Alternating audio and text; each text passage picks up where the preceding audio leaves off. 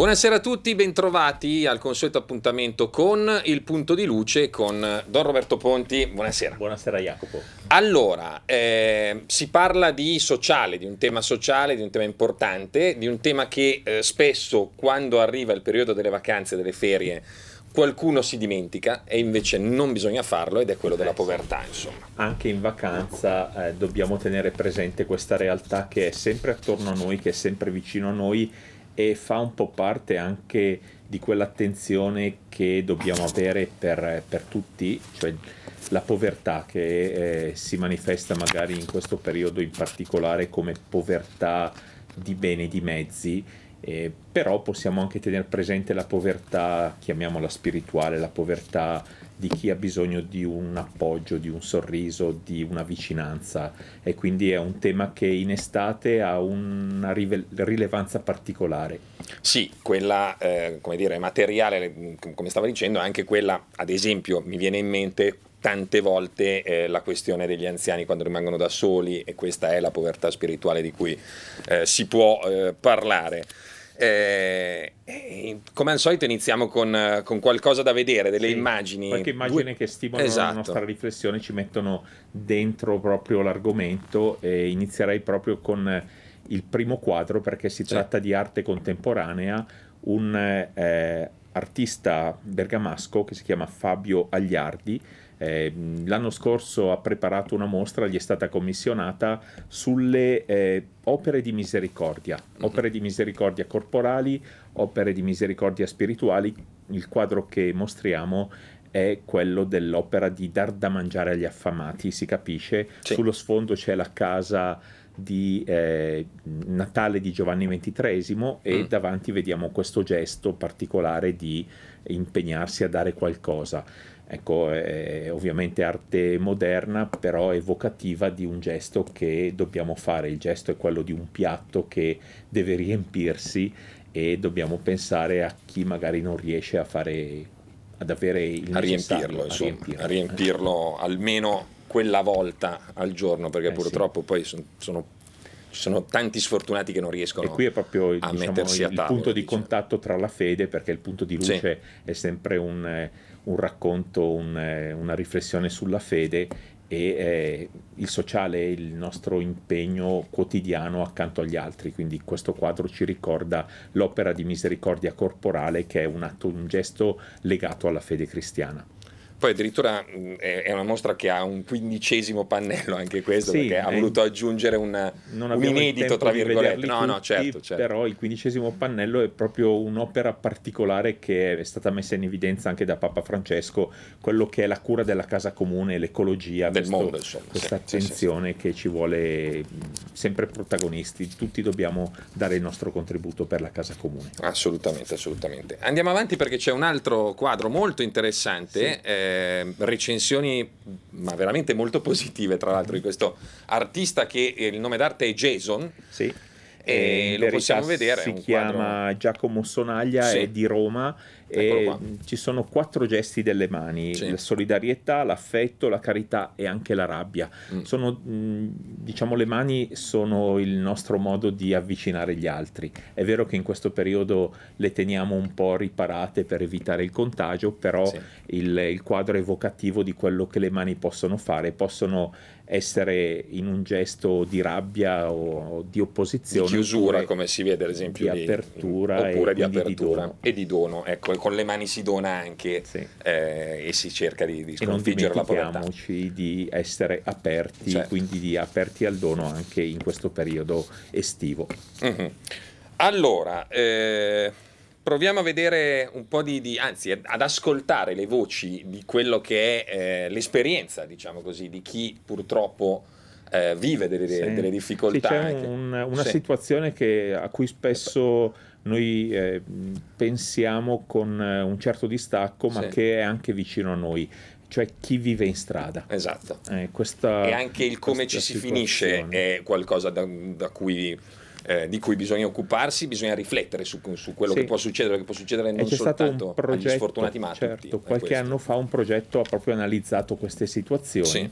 E allora magari possiamo, possiamo vedere una testimonianza. Possiamo vedere senso. una testimonianza, la, la ascoltiamo e la guardiamo subito.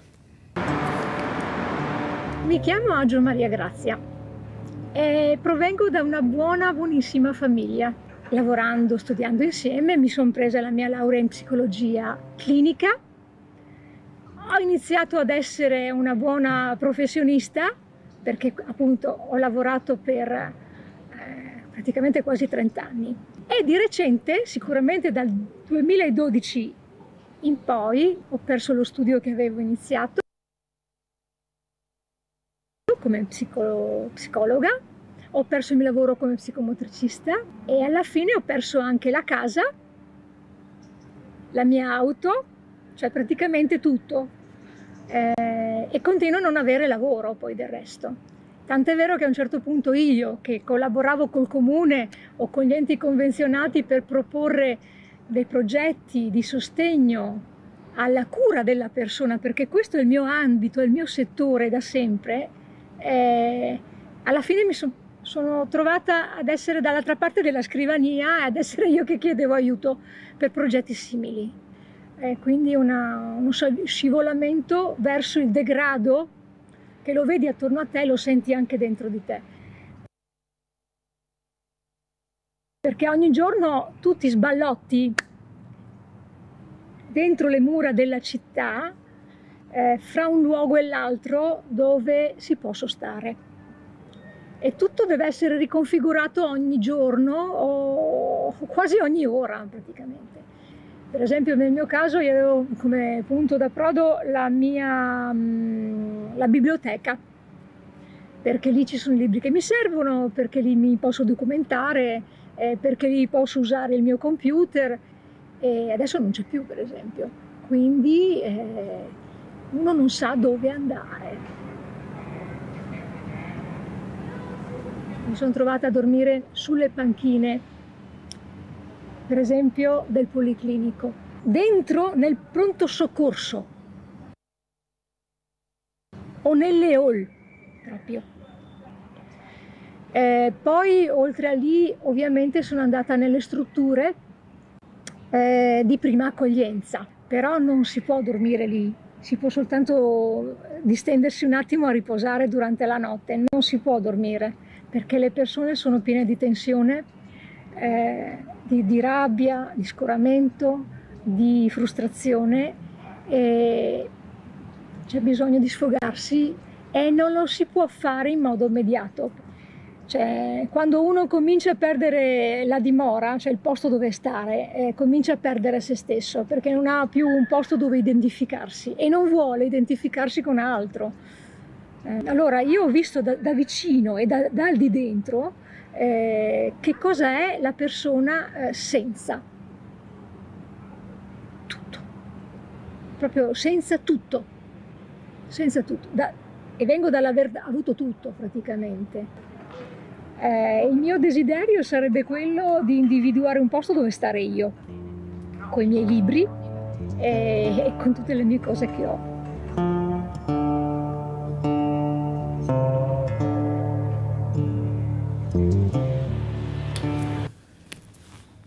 Racconto che fa stringere il cuore, anche sì. perché in realtà eh, purtroppo, bisogna dirlo da un punto, eh, ci sono dei, delle difficoltà che adesso si stanno come dire, moltiplicando in virtù sì. anche della crisi economica che sta sono, seguendo sono la pandemia, quindi sì. purtroppo bisogna stare molto attenti e bisogna stare vicino a queste persone. Vuol dire, una persona come quella che abbiamo sì. ascoltato ha anche la capacità di riflettere, certo. di eh, gestire la situazione con una certa eh, lucidità, lucidità, chiamiamola, sì. anche se a, ovviamente... A volte manca questa lucidità e quindi si va incontro a quello che veniva descritto, questa frustrazione, questa rabbia mm. che poi ingenera altre situazioni ancora peggiori e quindi mh, mm, per fortuna ci sono la Caritas, ci sono associazioni che stanno vicino a queste persone e eh, le aiutano a far fronte a, a quello che è il vivere quotidiano in mezzo alla strada che tra l'altro è, è, anche una sfida per queste associazioni in alcuni ambiti e in alcune situazioni, perché in questa situazione c'è, come diceva lei, una,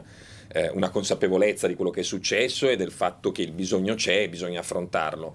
In altri mh, frangenti ci sono delle persone che vivono per strada e che rifiutano, diciamo così, l'aiuto Eh e sì. sono veramente Sì. eh, complicate. Sì, il problema le è quando ci si chiude in se stessi Esatto, e non, si sa più, non si sa più comunicare e quindi anche l'aiuto che ti viene portato è visto come un'intrusione, un eh, venire dentro eh, la tua intimità e tutto diventa più difficile, diventa difficile anche aiutare e allora capiamo quello che succede a volte in questi contesti dove ci sono anche delle zone dove si radunano e persone in difficoltà e la tensione cresce un po' come veniva descritto e va gestita, ci vogliono degli operatori anche preparati Esatto. per questo. Assolutamente. Eh, ovviamente c'è poi la- come dire, il sostegno più, più materiale, più necessario che è quello del cibo. Eh eh, sì. Poi si, si arriva lì, eh, anche il Eh problema sì, c'è, sì, sì, se, se manca quello, diciamo, poi le famiglie vanno in crisi, tutto diventa più difficile da, da gestire, da capire, da organizzare e sappiamo che la crisi che stiamo vivendo tocca diverse famiglie e allora eh, da una parte è bene essere coscienti di questa situazione, di questa crisi, dall'altra eh, dobbiamo impegnarci a fare qualcosa. Ci sono delle realtà come il Banco Alimentare che si impegnano su questo fronte e quindi magari vediamo lo spot che Sì. è stato preparato proprio per questa realtà eh, difficile che si sta vivendo e l'impegno che noi possiamo dare. Un messaggio molto particolare quello che vedria- vediamo adesso del Banco Alimentare. Sono super contenta! Quest'anno la mia mamma mi ha detto che non andiamo in vacanza perché abbiamo una città tutta libera per noi. Posso andare sull'altalino senza aspettare il mio turno, andare in bicicletta sul marciapiede e saltare per tutta casa. Tanto nel palazzo non c'è nessuno. E poi, visto che la mensa della scuola è chiusa, la mia mamma mi ha detto che, po- che potrò mangiare tutto quello che voglio. Cioccolato, patatine, caramelle e addio pesce lesso!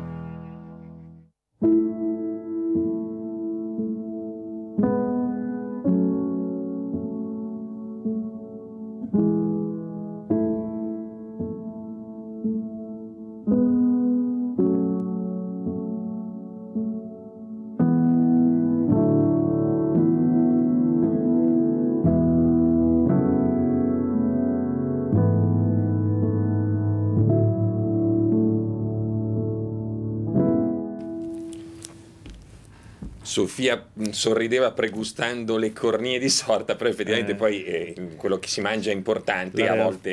la realtà stare è diversa. Esatto, esatto. Eh, il problema della famiglia che deve nutrire soprattutto i figli piccoli Sì, e certo. sappiamo che bisogna avere un'attenzione per l'alimentazione dei La bambini. sì, Eh, sì, sì, non, non si può dare soltanto caramelle e Esatto. cioccolato, bisogna pensare a- al loro sostentamento integrale e, e appropriato e questo è un impegno anche economico e quindi non sempre tutte le famiglie hanno i fondi, i mezzi adeguati per acquistare quello che è necessario per i figli più piccoli.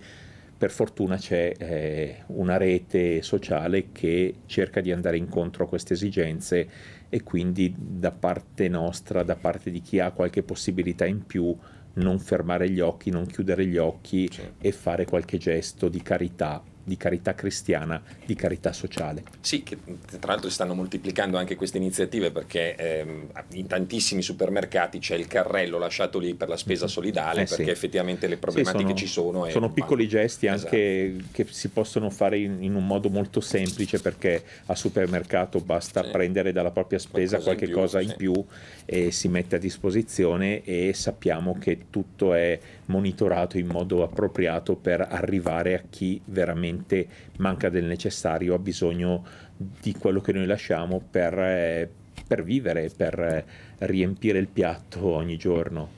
E poi c'è un'associazione molto vicina a- ai Paolini, anzi è dei Paolini questa associazione che è dedicata al- allo storico direttore di Famiglia Cristiana, Sì. Don Zilli. Sì, Don mi piace ricordare Sì. anche quello che settimanalmente fa l'associazione. Don Zilli per andare incontro a dei casi umani che sono dei casi che stanno un po' crescendo in questo mm, frangente, in, in questa sì. situazione eh, post pandemia o di pandemia. L'associazione Donzilli propone ogni settimana sul nostro settimanale Famiglia Cristiana un caso che viene sì. chiamato proprio il caso della settimana.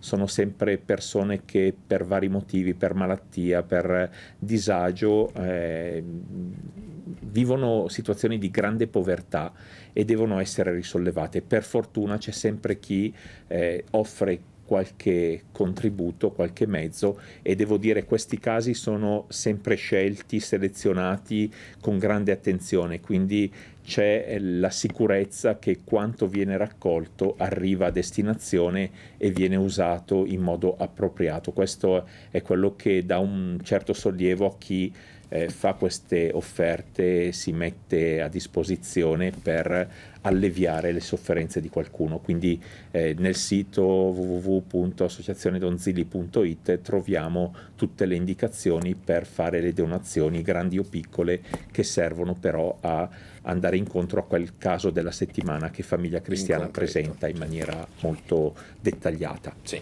in questo caso era Giacomo che eh, anche oltre alla povertà ha avuto eh, purtroppo un lutto salute, che ha aggravato certo. il tutto e quindi con cinque figli lo vedete e la concretezza dell'aiuto eh, va anche eh, a individuare qual è l'ambito eh, dove agire, insomma, certo. in questo caso. Ci sono tanti ambiti, ogni settimana uno è selezionato e poi ogni semestre si fa un resoconto dove si mettono in evidenza eh, quanto è stato raccolto e quanto è stato dato. Va bene.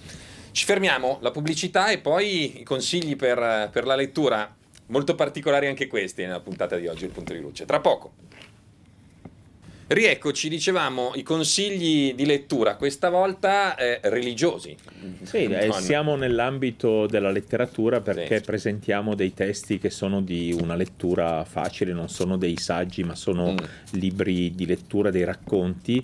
Uno in particolare, il primo che presento, è, è simpatico perché Ecco si intitola Diario di una perpetua di campagna. Sappiamo che a partire da Manzoni sì. il nome perpetua identifica la persona che aiuta il parroco eh, forse non ce ne sono più tante, ma ce ne sono ancora, o comunque nel, nel, pensiero, nell'immaginario di noi italiani la perpetua ha un ruolo particolare nella parrocchia e grazie al cielo ce ne sono ancora parrocchie che hanno queste persone dedicate veramente alla vita eh, del, del clero, del parroco, ma anche della comunità e quindi legati alla perpetua ci sono tanti avvenimenti simpatici che eh, un, l'autore di questo questo libro Diego Goso, che è un prete, quindi è ben informato sui fatti, ha raccolto con un po' di fantasia ovviamente ed una piacevole, piacevolissima lettura, direi proprio una lettura estiva.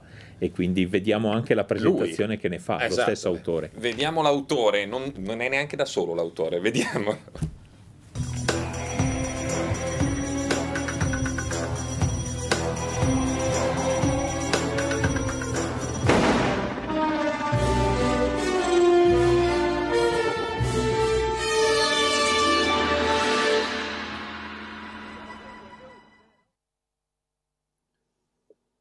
Tutto sta procedendo secondo i piani. Siamo riusciti a mettere mano su uno dei tesori più ben protetti e misteriosi dell'intera cristianità. Attraverso questo libro voi potrete conoscere come funziona la vita di un sacerdote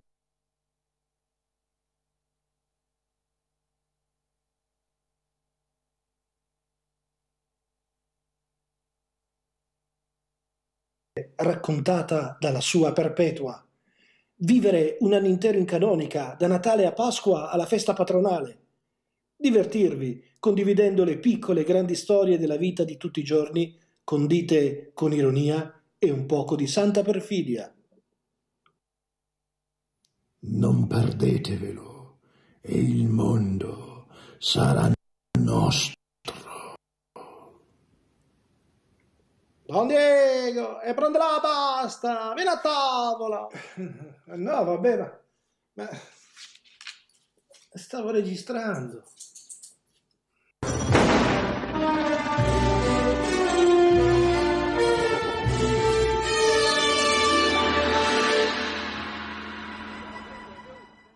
Sì, doveva essere un gatto, non l'abbiamo trovato il gatto, abbiamo usato te. Mm.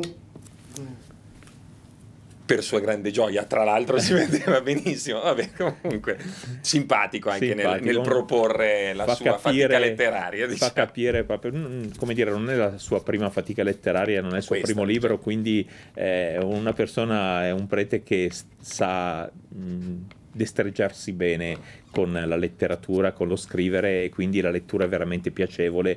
Edizione San Paolo è certo. facile da trovare è una lettura che proponiamo a tutti per divertirsi e anche per riflettere, perché poi le cose che vengono dette aiutano a capire la vita di un prete, la vita di una comunità e magari ci divertiamo anche. Esatto, è un po' da ombrellone perché è leggero, però fa sempre pensare e insegna, diciamo così. Insegna, anche. sì. Esatto, insegna, insegna. Allora, l'altra invece è più Il culinaria, secondo, diciamo. Sì, il secondo libro eh, è sempre ambientato un po' nella vita dei preti, del, dei vescovi, dei cardinali è proprio il titolo La trattoria del cardinale che richiama la trattoria, il ristorante frequentato ai tempi dal cardinale Ratzinger, ah. pensate un po', sono del, dei racconti o comunque delle descrizioni in cui il cibo entra proprio nel, eh, in quello che si descrive perché attorno alla tavola si costruiscono tante cose e si costruisce anche la fede, pensiamo all'ultima cena, certo. quindi all'importanza che a eh, il ritrovarsi attorno a un mm-hmm. tavolo anche nella fede cristiana. Sono racconti che, eh, o comunque descrizioni eh, che ci aiutano a capire proprio come attorno a un tavolo si può costruire qualche cosa di buono e eh, alcuni santi proprio ci sono vicende, monasteri e anche papi, vescovi che eh, attorno a un tavolo, preti che hanno costruito magari situazioni di gesti di carità per andare incontro a situazioni e aprire anche una trattoria, un ristorante con questa finalità. L'autrice Sabrina Vecchi ha, um, racconta un po' anche della sua esperienza in questi, in questi testi e le edizioni sono le edizioni pauline, quindi anche questo facilmente un testo facilmente ritrovabile nelle librerie cattoliche soprattutto, ma anche negli store online, quindi è facile farselo arrivare a casa e poi portarselo in vacanza. In spiaggia o dovunque andiate. Quindi buona lettura in questa estate che ormai eh, è qui, è presente ovviamente. Eh, noi torniamo un attimo al, al, punto di partenza e quindi a questo tema della povertà che mh, è così estivo anche nel modo in cui è stato trattato, cioè bisogna stare attenti, bisogna mantenere, eh, mantenere accesi i fari su questa eh, tematica e lo facciamo eh, con il Vangelo. Sì. Siamo sempre nell'anno biblico della famiglia Paolina, quindi eh, in tutto questo periodo stiamo offrendo al termine del punto di luce una frase della scrittura dell'Antico e del Nuovo Testamento eh, in cui si riprende un tema e lo si dà alla riflessione.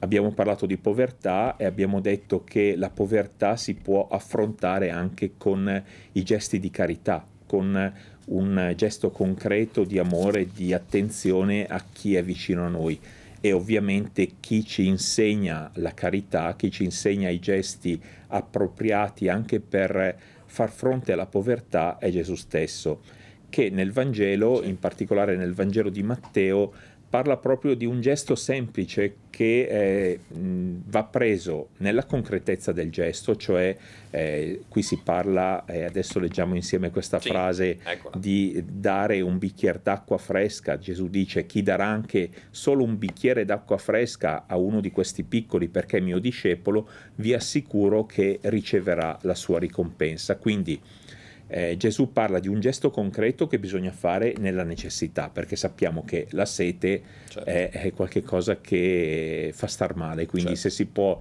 dare da bere ad un assetato lo si aiuta in maniera veramente seria e completa. Però al di là del gesto concreto è quello che evoca questa frase di Gesù, cioè bisogna essere accanto agli altri con i gesti semplici, i gesti eh, che sono magari meno visibili ma che aiutano ad alleviare una situazione di bisogno. Quindi non soltanto il, il bicchiere d'acqua, non soltanto il piatto di minestra o comunque quello che serve per eh, sostentarsi, ma anche un atteggiamento di attenzione, di benevolenza, di comprensione verso chi c'è accanto. Questo è eh, quello che Gesù propone e eh, lui, eh, il Signore, ci fa capire che questi gesti, se sono fatti con eh, un'attenzione che va al di là anche eh, alla persona che c'è davanti, acquistano un valore maggiore perché eh, non è soltanto la persona che si ha davanti che siccome mi piace, siccome mi è simpatica, eh, determina la bontà del gesto, ma è il gesto in sé che ha un suo significato profondo che va sempre tenuto presente. Quindi superiamo anche le difficoltà di avere accanto una persona eh, non bella, non simpatica, che non, eh, non ci aggrada a volte però proprio le persone che forse eh, lasceremmo un po' più lontane sono quelle che hanno più bisogno, bisogno di un certo. aiuto, di una comprensione, certo. hanno bisogno di quello di che Gesù... Di una carezza all'anima, eh, come sì, si dice. Eh, di una carezza proprio profonda. profonda. Mm. Va bene, allora è, è, l'ultimo punto di luce della stagione, giusto? È l'ultimo punto di luce della stagione, siamo arrivati, se teniamo un po' il conto da quando abbiamo mm. iniziato, a 45, 45 e non è poco no, e penso che poi con settembre avremo qualche novità, abbiamo preparato un nuovo studio, c'è la possibilità di rinnovare qualcosa e lo faremo insieme, quindi magari ci rivediamo con Jacopo, con eh, certo. tutta la redazione tutta la di redazione. Telenova per andare avanti avanti in questo percorso e allora è l'occasione anche per ringraziare la regia, tutti certo. coloro, la, l'emissione, tutti coloro che hanno supportano a... Questa trasmissione, questa trasmissione perché ogni settimana sia presente. Grazie a tutti e buona estate. Noi andiamo a leggere i due libri sotto l'ombrellone o dovunque sì. andiamo e poi ci rivediamo a settembre. Grazie a Don Roberto Ponti, grazie a voi per averci seguito e continuate a stare su Telenova. Buona serata. A presto.